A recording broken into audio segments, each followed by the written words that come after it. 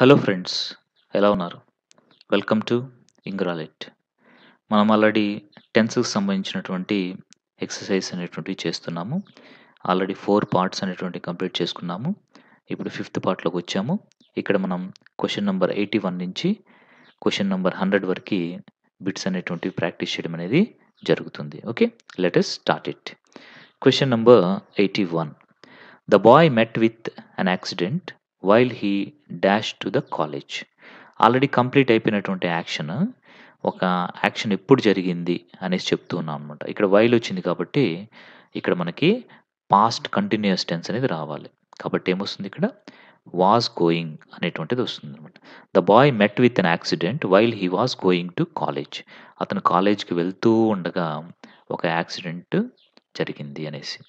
The boy dash the novel since eight o'clock since వచ్చేసింది. Since వచ్చేస్తానే present perfect continuous అంటే ఏమొస్తుంది? The boy has been reading the novel అనేసి వస్తుంది అనమాట next question number eighty three the child dash here since three o'clock A since వచ్చేసింది కదా మళ్ళీ. ఏమొచ్చేస్తుంది మరి? ప్రెజెంట్ కంటిన్యూ పర్ఫెక్ట్ కంటిన్యూస్ అంటే the child has been sleeping అనేసి వస్తుంది అనమాట the child dash here since మళ్ళీ ద సేమ్ సెంటెన్స్ని వెర్బ్ మార్చి చేశారు.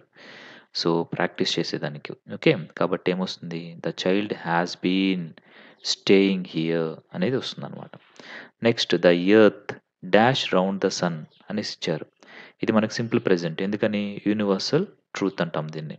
So the earth moves round the sun అనేసి యూజ్ చేస్తాం అనమాట okay the girl fell asleep while she dash TV మనం ఇంతకుముందు చూసాం కదా ఒక వైల్ సెంటెన్స్ సో ఈ వైల్ వచ్చినప్పుడు ఏమవుతుంది? రెండు పాస్ట్ కంటిన్యూస్ అయి ఉంటాయి లేదా ఒకటి పాస్ట్ పర్ఫెక్ట్ ఉండి సారీ సింపుల్ పాస్ట్ ఉండి మరొకటి పాస్ట్ కంటిన్యూస్గా ఉంటాయి అన్నమాట ఓకే కాబట్టి ఆల్రెడీ మనకి ఇక్కడ సింపుల్ పాస్ట్ వచ్చేసింది కదా కాబట్టి ఇక్కడ పాస్ట్ కంటిన్యూస్ అనేది ఉండాలి. అంటే the girl fell asleep while she was watching TV. ఆమె టీవీ చూస్తూ ఉండగా నిద్రపోయిందనమాట. Next question number eighty seven the house dash on fire call for the fire department so ఇక్కడ ఏంటి the house dash on fire అనేసి చెప్పి ఒక imperative sentence అనేది ఇవ్వడం జరిగింది. ఏంటది imperative sentence call for the fire department అనేసి అంటున్నారు. అంటే ఆ హౌస్ అనేది ఇప్పుడు ప్రజెంట్ ఏంటి దాని situation is on fire the house is on fire call for the fire department. House కాలిపోతూ ఉంది. వెంటనే ఫైర్ డిపార్ట్మెంట్కి కాల్ చేయండి. అంటే ప్రెజెంట్ అనమాట ఇది. Okay? Next question number eighty eight. The maid broke the cup while she dash it. Yes while వచ్చేసింది కదా? Already ఇక్కడ ఏమొచ్చేసింది?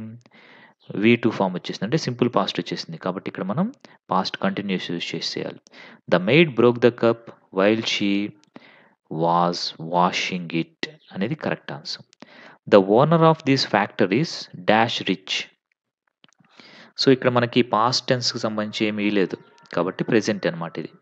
అంటే వాళ్ళ యొక్క పొజిషన్ని స్టేటస్ని రిప్రజెంట్ చేస్తుంది. ద ఓనర్ అంటే singular the owner of these factories is rich ఇక్కడ ఫ్యాక్టరీస్ వచ్చింది కదా అనేసి మనము ప్లూరల్కి పోకూడదు. సో ఆ ఫ్యాక్టరీస్ అన్నిటికీ ఒకరే ఓనర్ అతని గురించి చెప్తున్నాం మనం. కాబట్టి సింగులర్ అనమాట సో నెక్స్ట్ ఏంటి అంటే క్వశ్చన్ నెంబర్ నైంటీ.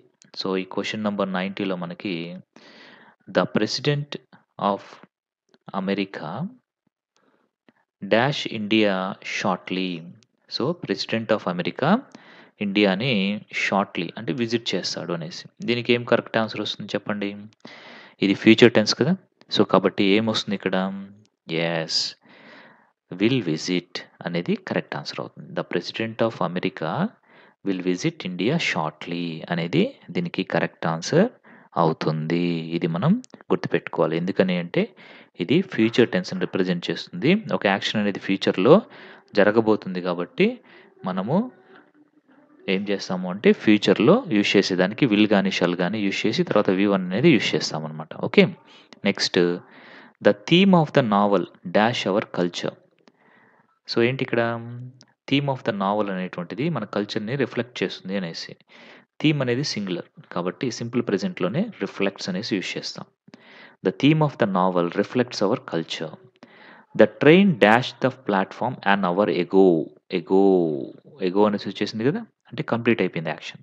అప్పుడు ఏమొస్తుంది వి ఫామ్. అంటే the train left the platform an hour ago. Already వదిలి వెళ్ళిపోయింది అనమాట ఇక్కడ చూడండి the train dash the station before I reached there. Before వచ్చింది ఇంకా ఒక యాక్షన్ ఆల్రెడీ కంప్లీట్ అయిపోయింది. ఇది కూడా కంప్లీట్ అయిపోయిన యాక్షన్ అంటే రెండు కంప్లీటెడ్ యాక్షన్స్ ఉన్నాయి. ఫస్ట్ కంప్లీట్ అయిన యాక్షన్ ఏది? ద ట్రైన్ స్టేషన్ వదిలి వెళ్ళిపోయింది అనేది ఫస్ట్ కంప్లీటెడ్ యాక్షన్. కాబట్టి దీనికి మనము హ్యాడ్ ప్లస్ వి త్రీ అనేది అంటే పాస్ట్ పర్ఫెక్ట్ టెన్స్ అనేది యూజ్ చేయాలి. అంటే the train had left the station before I reached there అనేది correct answer. Next question number ninety four the world war two dash in nineteen forty five world war two అనేది ఎప్పుడు end అయిపోయింది? Already complete అయిపోయింది. అంటే ended past form ended nineteen forty five అనేది ఏంటి? Completed action represent చేస్తుంది. కాబట్టి ended V two form there dash no need of your help so ఇక్కడ మనకి నార్మల్గా సింపుల్ ప్రెజెంట్లోనే చెప్పేస్తున్నారు. So there is no need of your help అనేసి మనం చెప్పచ్చు. There is no need of your help నీ హెల్ప్ నాకేమీ అక్కర్లేదు అనేసి అనమాట they dash the old bridge now so now అన్నారు కదా? నవ్ అంటే ఏంటి? ప్రజెంట్ ఒక యాక్షన్ జరుగుతూ ఉందన్నమాట. అన్నప్పుడు ఏమొస్తుంది ఇక్కడ? Yes present continuous they are repairing the old bridge now now okay next water boils at hundred degree celsius ఇక్కడ చూడండి. హండ్రెడ్ డిగ్రీ సెల్సియస్ అనేసి వాటర్ అనేసి ఇట్లాంటివంతా ఏంది అంటే నథింగ్ బట్ సైంటిఫిక్ ఫ్యాక్ట్స్ అనమాట ఈ ఫ్యాక్ట్స్ మారవు. ఇలాంటి వాటిని మనం సింపుల్ ప్రెజెంట్ టెన్స్లోనే యూజ్ చేయాలి. అంటే వి వన్కి ఇక్కడ వాటర్ అనేది సింగులర్ కింద తీసుకుంటాం కాబట్టి బాయిల్స్ అనేసి వస్తుంది అనమాట water boils at hundred degree celsius okay అంటే వాటర్ అనేది సింగులర్ ప్లోరల్ అనేది కాదు. ఇక్కడ మనం దీన్ని సింగులర్గా అంటే సింగులర్ హెల్పింగ్ వర్బ్ అనేది యూజ్ చేయడం జరుగుతుంది దానికి. అది మనం గుర్తుపెట్టుకోవాలి. Next question number ninety eight we dash to see the movie last night last night అనేసి వచ్చేసింది. అంటే లాస్ట్ నైట్ అని వచ్చింది కాబట్టి what is this simple past tense అంటే we went to see the movie last night అయిపోయింది. Next question number ninety nine we dash a big nation we we అనేది వచ్చింది కాబట్టి ఏం చేయాలి ఇక్కడ మనం? ఎస్ ఇక్కడ మనము వి అని వస్తే ఏం చేస్తాము? చెప్పండి గెస్ చేయండి. ఎస్ ప్లోరల్ అనేది యూజ్ చేయాలి. సో ప్లోరల్ అనేది యూజ్ చేయాలి అంటే ఏమొస్తుంది? వర్ కూడా ప్లోరల్ ఉంది ఆర్ కూడా ప్లోరల్ ఉంది. మరి ఏది యూజ్ చేయాలి?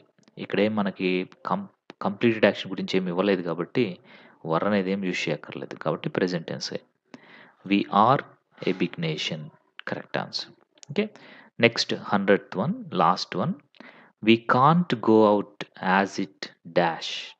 మనం బయటికి వెళ్ళలేం. ఎందుకనంటే as it is. As it is. Is అని వాళ్ళే ఇచ్చేశారు. అంటే ఏమొస్తుంది ఇక్కడ? As it is. ఏ? చెప్పండి. ఎస్ రైనింగ్ అనేది కరెక్ట్ ఆన్సర్. ఇట్ ఈజ్ అనేసి ఇచ్చేశారు కదా? రైనింగ్ సో ఇప్పుడు వర్షం పడుతూ ఉంది కాబట్టి మనం బయటికి వెళ్ళలేము అనేసి దీని యొక్క అర్థం అనమాట okay? So we have completed hundred bits so ఇది మనకి లాస్ట్ పార్ట్గా చెప్పుకోవచ్చు ఎక్సర్సైజెస్లో సో ఇవన్నీ కూడా మనకి ఎగ్జామ్స్లో ఉపయోగపడతాయి. ఇవన్నీ కూడా ప్రాక్టీస్ చేస్తే కాబట్టి అందరూ కూడా చక్కగా ప్రాక్టీస్ చేస్తారు. ఇవంతా అనేసి కూడా అనుకుంటున్నాను. సో ప్రతిదానికి కూడా పీడిఎఫ్ అనేది ఇవ్వబడుతుంది. ఆ పీడిఎఫ్స్ డౌన్లోడ్ చేసుకొని వాటిని ప్రాక్టీస్ చేసి తర్వాత ఆన్సర్స్ అనేవి చెక్ చేసుకుంటే it would be better for you I feel okay right thank you